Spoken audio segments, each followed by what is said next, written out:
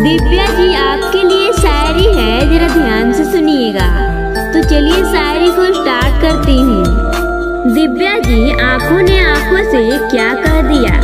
कि दिव्या जी आँखों ने आँखों से क्या कह दिया? दिल को धड़कन ने काम दे दिया। कुछ भी कहो, ए मेरे यारो।